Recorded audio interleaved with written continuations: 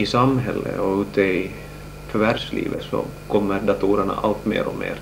Var och en råkar ut för dem förr eller senare.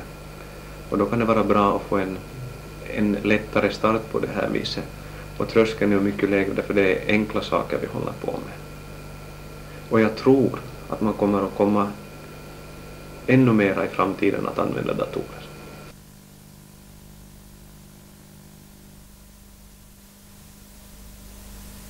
En ny förening har kommit till Larsmo. Det är Larsmo datastugor som så som namnet säger sysslar med datorer. Hur har den uppstått och vilka är målen? För att få svar på dessa och andra frågor besökte vi olika verksamhetsställen samt intervjuade en av föreningens initiativtagare, Stefan Wiklén. Föreningen anordnade spelkvällar för de yngre och sen har man fortsatt med kurser i textbehandling. Vi börjar i Bosund.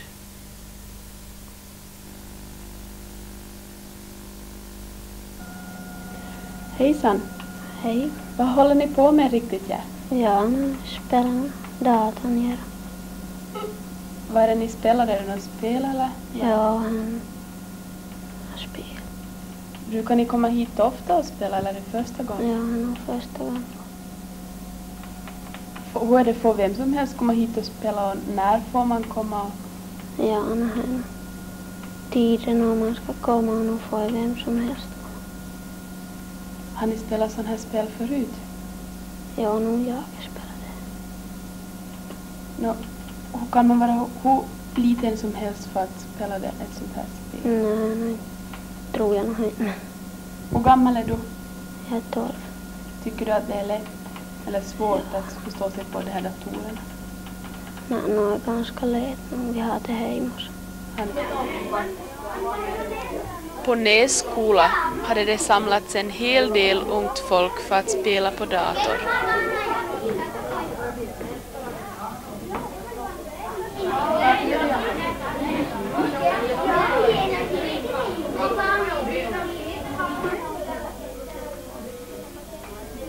Också intresset bland flickorna var stort.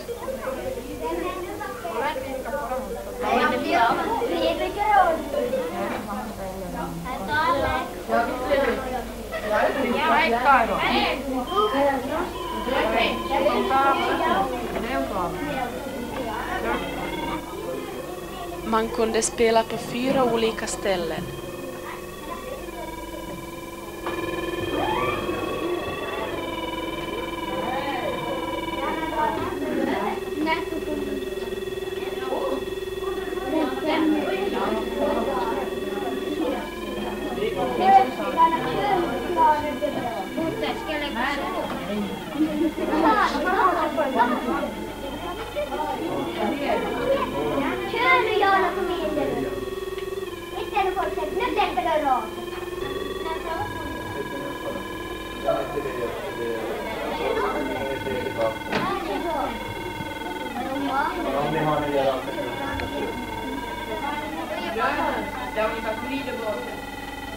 Vogliamo salire, ovviamente.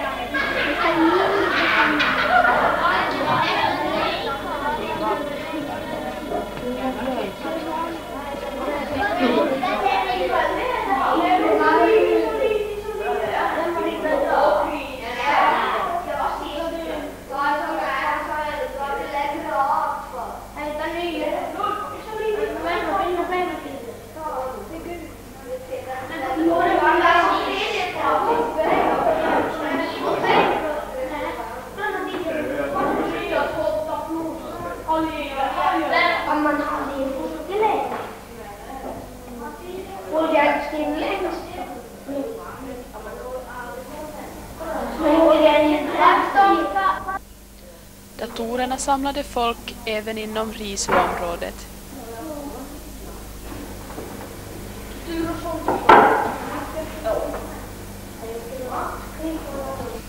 Stefan, du är en av de här initiativtagarna till Larsmo datastugor. Kan du berätta vad är Larsmo datastugor egentligen? Ja, ursäkta. Lasmo datastugor är en förening, eller under bildning varande förening, som eh, vill lära ut om datorer, ge möjlighet för folk att få använda datorer, att få pröva på vad datorer egentligen är. Eh, jag vet av egen erfarenhet att utvecklingen inom ADB-sidan har gått framåt någonting väldigt under de här senaste åren. Och om man i dagens läge inte är med och lär sig får man svårare sen längre fram. Nu har de som ligger bakom det här, Kurt Lindqvist och Mats Löv och Helmer Andersson och Martin Andersson har varit med här också, tyckt att det är väldigt viktigt att vi försöker ge möjligheter för folk att få använda datorer. Så därför har vi bildat den här föreningen, vi har köpt de här datorerna och placerat ut dem i biblioteken för att man ska kunna använda dem där. Men på samma gång, innan man börjar använda dem, så vill vi också ge en utbildning, en grundutbildning som man vågar gå och prova på. Är det fritt för allihopa att gå och använda de här datorn, datorerna när som helst?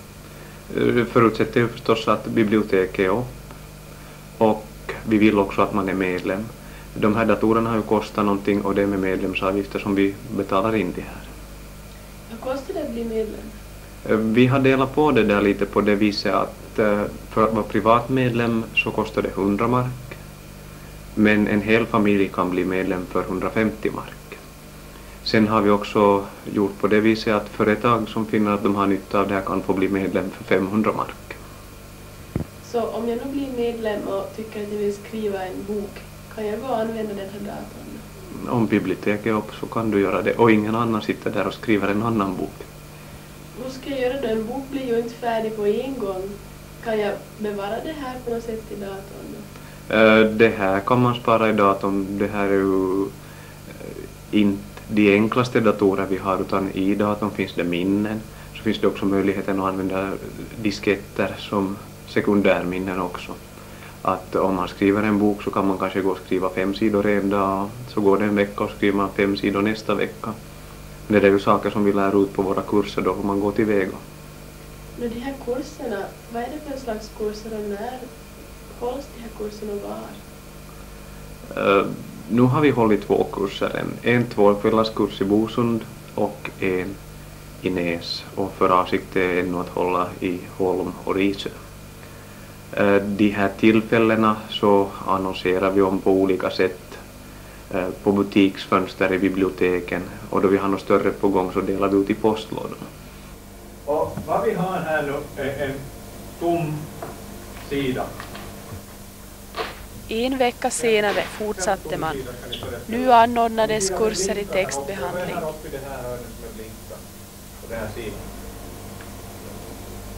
Och det här är då meningen att den här sidan ska fyllas.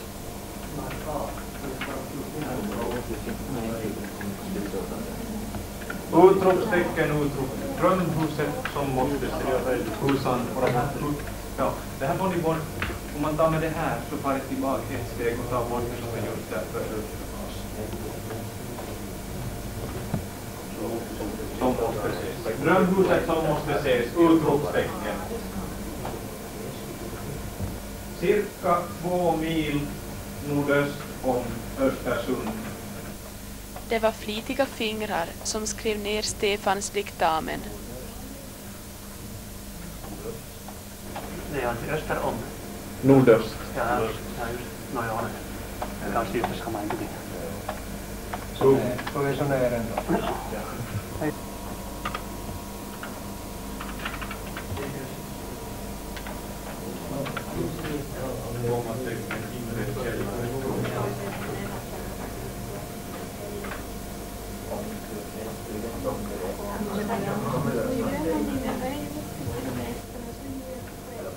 Fullständigt utrustad. Punkt.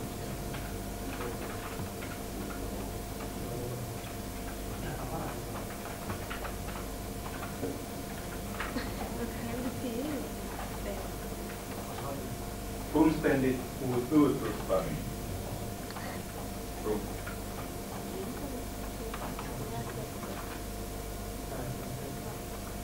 Det finns två olika, spara och spara som.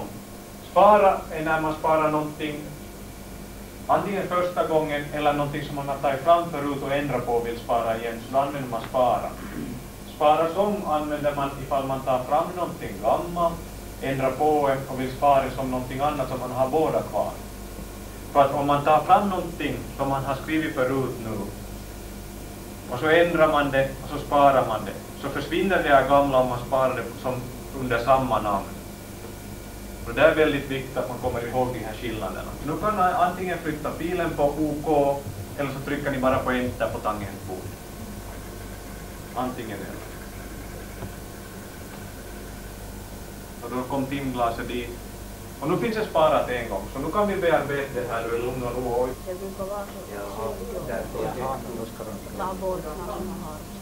Moderna, du provar på Stor är bara nio.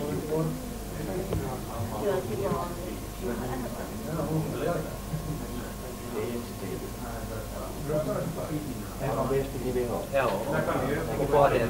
Var det 24? Ja, 24. Jo, alltså pienen kan man läsa. Då är det bara att titta arkiv igen. Arkiv.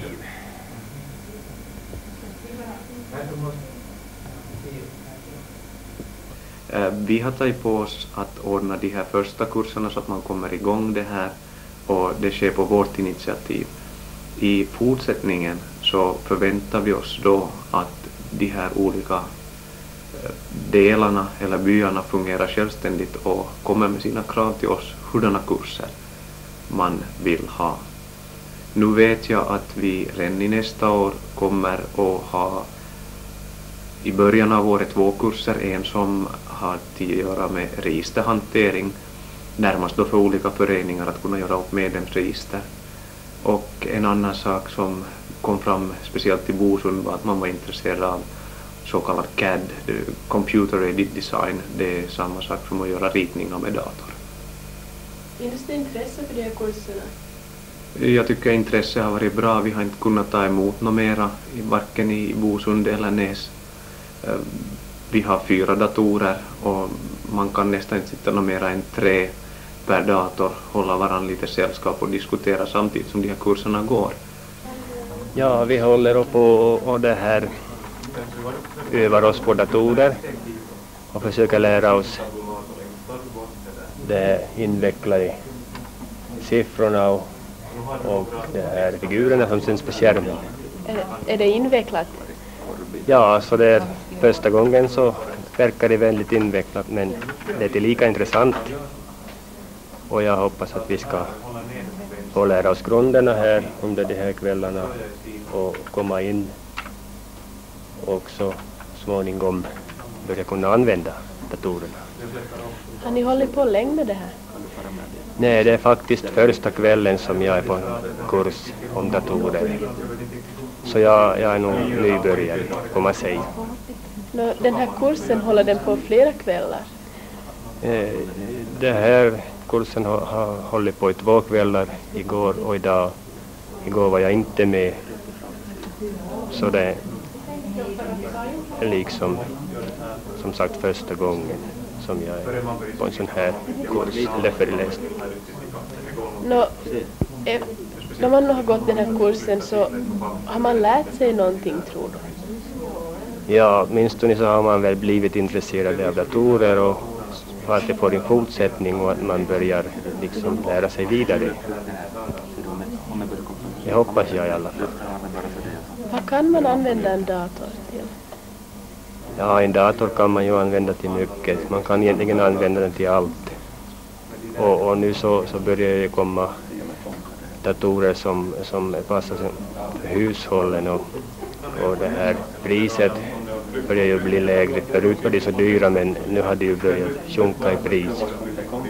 Så jag tror att det här är en, en sak som så småningom kommer att finnas i de flesta hem. Nå, den här datorn ni sitter framför här, är det en vanlig hemdator, en som vem som helst kan köpa?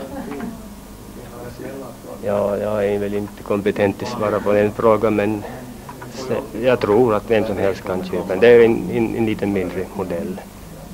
Det skulle vi kanske behöva fråga Stefan om som är expert. Har du själv dator där hemma?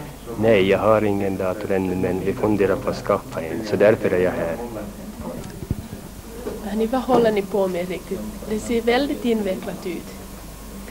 Vi kanske vet inte riktigt själv heller.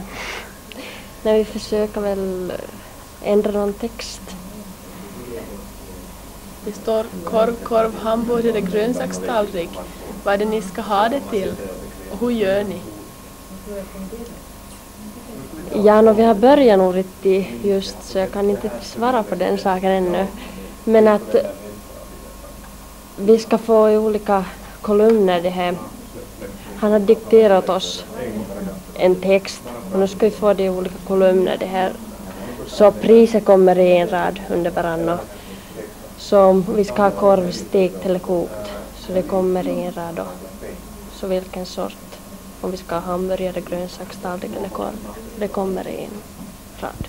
Hur ska ni få det flyttat? Det är massa pilar där och ni sitter och trycker på några saker här. Berätta om jag vill flytta den där ena pilen någonstans. Hur ska jag göra? Vad ska jag trycka på? Ja, det här det kallades en mus. Och de här pilarna som finns här i skärmen, det syns ju inte i TV nu men så den här kursorn som finns här så den ska vi flytta till en pil som finns här till exempel. Då trycker man där. Så att när du rör på den där musen så då, då flyttar pilen sig. ja. Ja, precis det ja. Och då programmerat in så att det ska lyckas då om vi ska ha en- en tabulator till exempel där.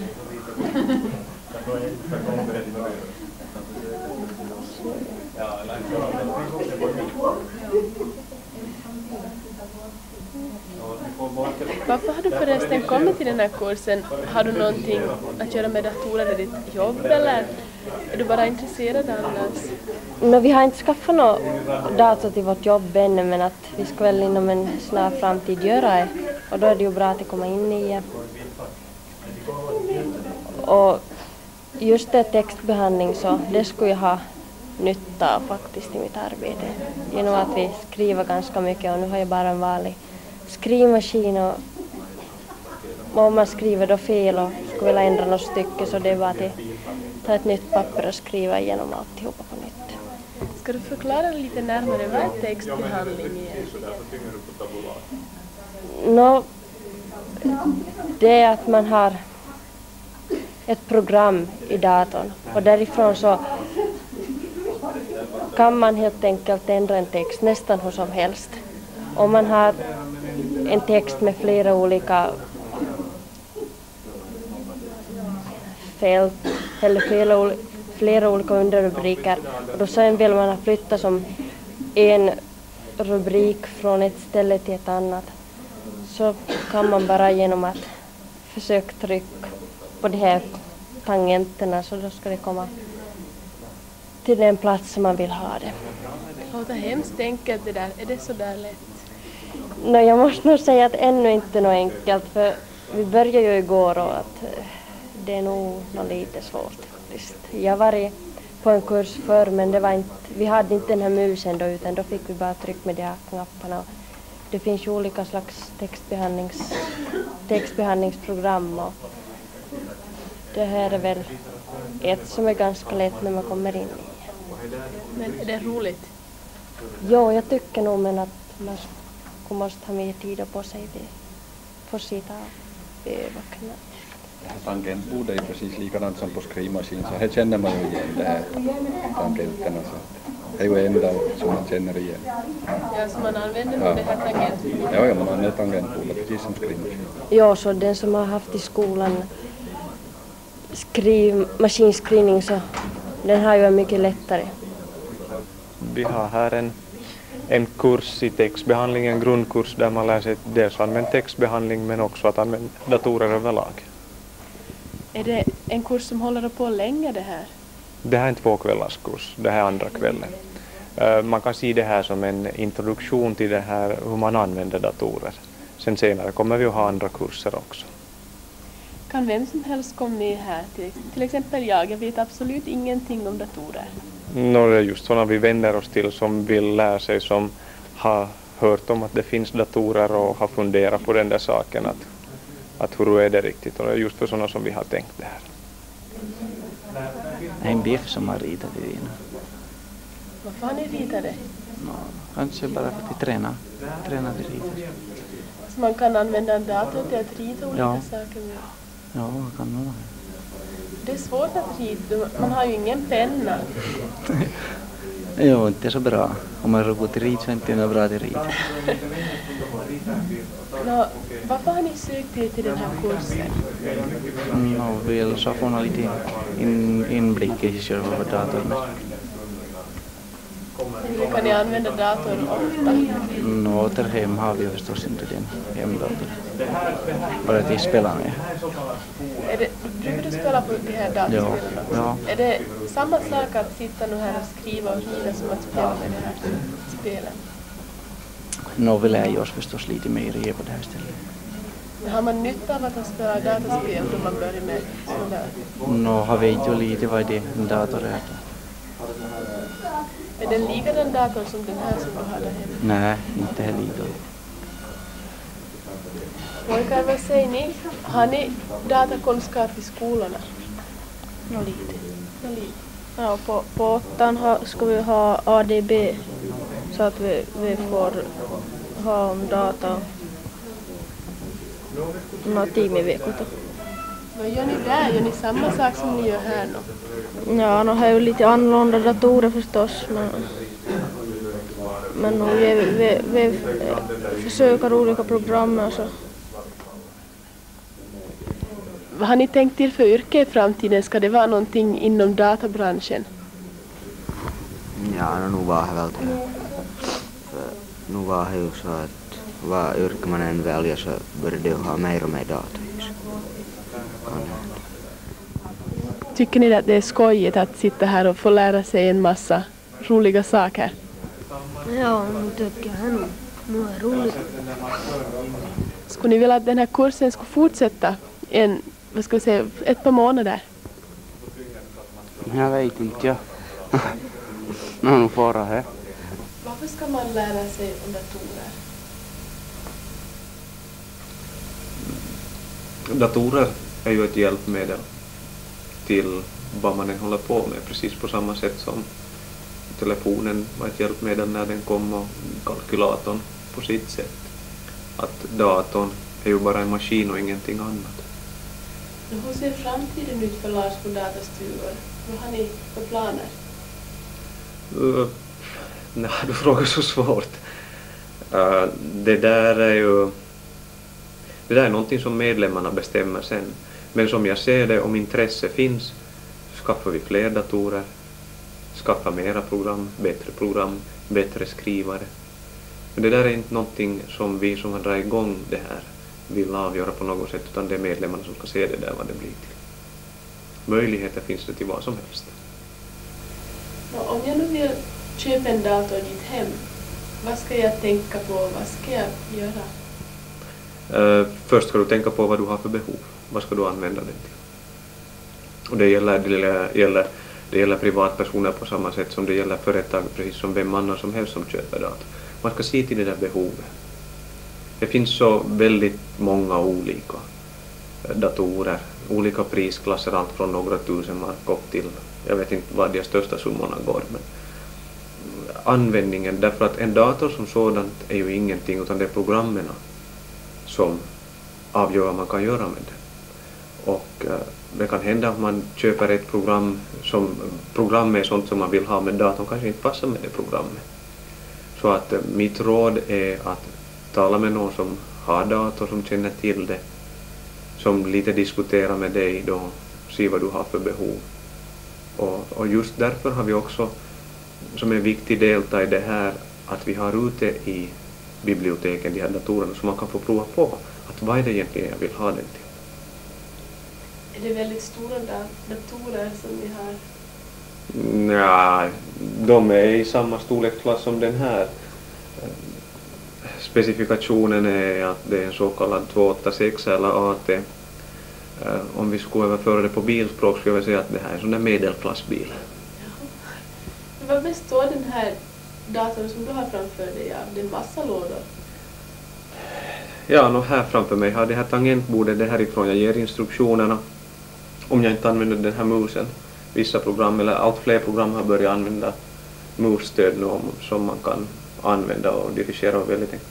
Sen har vi eh, bildskärmen som då i det här fallet är en färgskärm. De där biblioteken så är, är svartvita eller monokroma. Och sen har vi centralenheten som är en massa olika sladdar och kretskort. Sen om man vill kan man ju också ha en sån här skanner. Det här är en mycket enkel modell, en handskanner som jag kan läsa in bilder på. Så att om du ger hit ditt körkort så läser jag in det och så får du se dig själv här i rutan om en stund. Det låter ju väldigt intressant. Mm. Till, till det här hör du förstås också en skrivare. Jag har ingen skrivare här utan skrivaren finns i nedre våningen. Vi har lite bättre skrivare där så jag skriver ut det på en, på en diskett och för ner till en annan dator och tar ut det där. Jaha, så att man behöver absolut inte ha en skrivare till varje dator utan det går att... Mm, Nå, det där är ju relativt. Har man tillgång till en skrivare så, så då behöver man inte ha till varje dator. Jag tycker allt det här det låter hemskt invecklat. Är det svårt att lära sig det här? Ja. Man stöter inte sig lika mycket som när man lär sig cykla. Nej.